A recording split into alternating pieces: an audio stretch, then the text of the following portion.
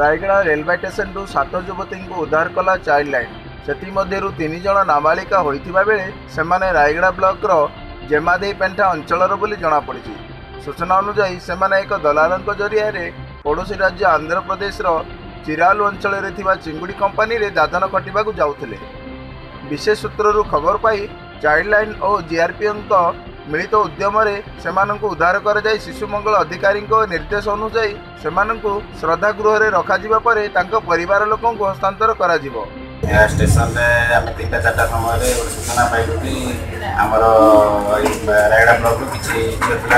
आम बाह्र आन्ध्रप्रद सूचना आधार आसिक खोजाखोजी कलु खोजाखोजी कलापान पालाप जाने आन्ध्र प्रदेश र कम्पानी जान्छ तेरिको जिउँदै काम गरेपछि तर समास् आम जिआरपिको मिलित उद्यमे